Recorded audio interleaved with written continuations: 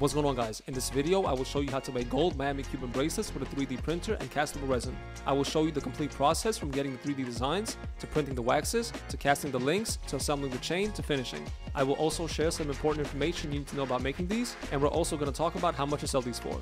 This is a video you guys don't want to miss, let's get right into it. Before we begin the video, I want to ask you guys for a huge favor, and that's to hit the like button. I know it seems like a small thing, but it's super important for my channel, and it helps grow my channel. So if you guys can do that for me, I would really appreciate it. Thank you in advance. Alright guys, before we begin, you will need a Mars Elegoo 3 3D printer or any other 3D printer of your choice, and you will also need castable resin. You will also need a primer to make sure you get consistent and good results without failed prints. You will need an alcohol, which is at least 91% or higher. I will have an Amazon link to all of these items in the description under the video. The first thing that we're going to do is get our 3D file. There are many styles of links to choose from. For this example, we're going to go with this file right here. The original file is 8mm, but that's okay. There aren't any holes or prongs in these links, so we can resize it to whatever size we want. And the file is going to be the same. So here are the 3D files. As you guys can see, the file already comes with the gap in the link. However, this gap is not big enough. If we print it like this, it's not going to print or cast correctly. So I went ahead and edited the file and made a bigger gap. Now we're going to open up the software that comes with the printer and import all the files. Count how many links you need to make the bracelet to the length that you want and import those links into Chitubox. Next, we're going to take the USB drive that comes with the printer and plug it into your computer. And we're going to open the program that comes on the drive. So let's go ahead and import the file. Click rotate two times to make sure it stands up straight. And so right now, this file is 8 millimeters in width. We want this bracelet to be 12 millimeters. So what we're going to do is change the percentage to 150%. 8 multiplied by 1.5 is going to be 12. Now we're going to import the rest of the files for this bracelet and do the same thing. Multiply everything by 1.5. Change all the files to 150%. The next thing we're going to do is apply the primer. This is going to make sure you get flawless prints every single time with no failed prints. Use the yellow plastic spatula to spread it out evenly all over the plate. Make sure you get a nice even coat. Apply a good amount and put it on UV light for about 10 minutes. The next thing that we're going to do is pour resin into our machine. Fill it up about a quarter way and attach the plate.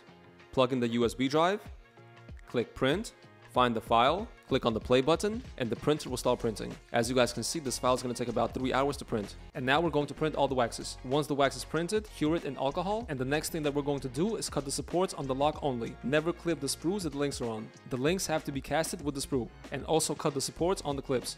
Alright guys, let's take a look at our waxes. Here we have the links with the sprue. As you guys can see, it came out perfect. And right here we have the box lock. It also printed perfect and everything's ready to be casted. Now, if you guys are making links that are very tight, I suggest you guys print a couple extra links. Cut them from the sprue and put them together to make sure everything fits properly. A lot of times when designers make these files, they don't make them correctly. So always check this. If you print waxes and they don't fit properly, simply take some sandpaper and sand down the links. If you don't sand it yourself, the polisher will do that and you're going to lose gold and you don't want that. The next thing that we're going to do is cast these links in 10 karat yellow gold. As you guys already know, you should aim to pay around $1.50 above the spot price per gram. Find a caster in your city and bring them the 3D waxes. Also, if you don't live near a jewelry district, you can cast your own gold. You can buy a casting vacuum machine and two ovens. You will buy special investments specifically for this 3D resin, and you can go on apmex.com and buy grains of gold. Buy some mixing alloy to mix it with the gold, and you can easily cast your own pieces. Just be sure to do this in a safe environment. This is not something you should be doing inside your house. I'm gonna do a whole video on how to cast your own jewelry, so stay tuned. Alright guys, so right here we have everything casted, and the first thing that you will notice is the caster didn't cut the sprues all the way. You have to tell them to cut all the way, otherwise the polisher will keep all the extra gold and you will lose money. Let's go ahead and weigh everything. And as you guys see, everything weighs 66.48 grams. The next thing that we're going to do is cut these. You can buy some jewelry cutters on Amazon for around $10. And what we're going to do is cut as close as we can to the link. We're also going to cut some of the gold off the locks and the clips. After that, we're going to file and smooth everything out. Make sure that you guys save the gold dust and the sprues. Later on, we're going to take these to a jewelry refiner. And what a refiner does is separate the metals by melting them. Different metals melt at different temperatures. So we can either get pure gold back or we can get cash back. A refiner is going to give you approximately 98% of the gold price. There's a jewelry refiner in pretty much every single diamond district. Alright guys, so here's what our finished links look like. As you can see, we got rid of all the excess gold and everything is smooth now. Let's weigh everything. And the total weight is 65.35 grams. So we saved about 1 gram. Now let me show you guys the basics of what a polisher is going to do to make this bracelet. You're going to separate all the closed links from all the open links and we're going to assemble the bracelet. You guys should use special pliers that won't scratch the links. I don't have that, I'm not a bench jeweler. I just want to show you guys how this works so you understand. Get some pliers and put paper, plastic or a towel over them and simply bend the link. It's very easy to do. And then we're going to put two open links on one closed link. After that we're going to close the open links and that's how you assemble a Cuban bracelet. It's very easy.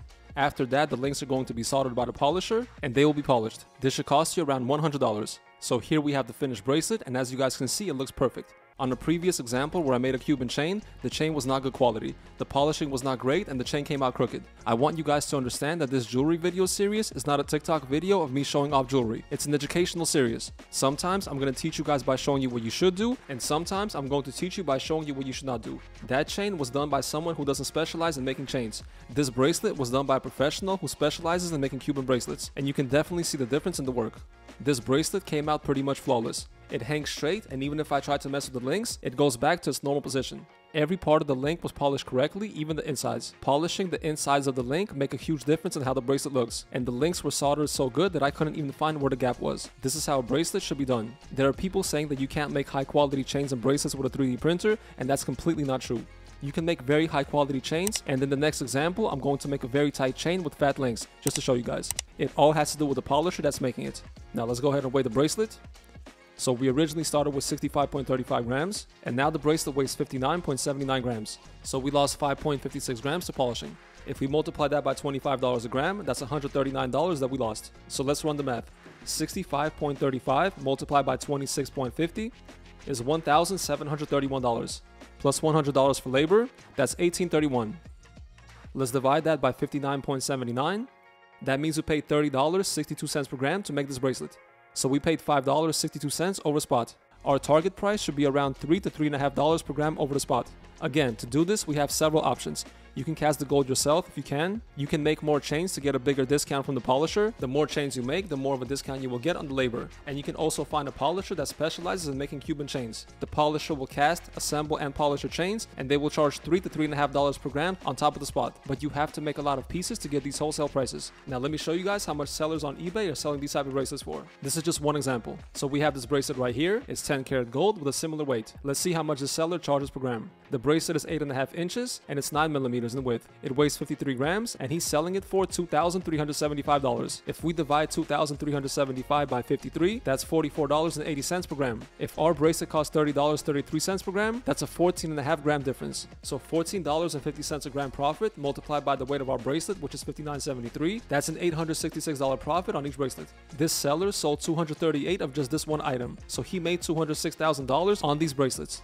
And here's another seller, he sold 1,211 of these. So this just shows you guys the jewelry business is not a side hustle, it's a serious business. For those of you that are starting a jewelry business, I want to know what kind of issues you're running into. Please let me know in the comments below. Also, I'm going to be launching a memberships group on this channel, which is going to have exclusive content, private chats, and much more. So stay tuned for that.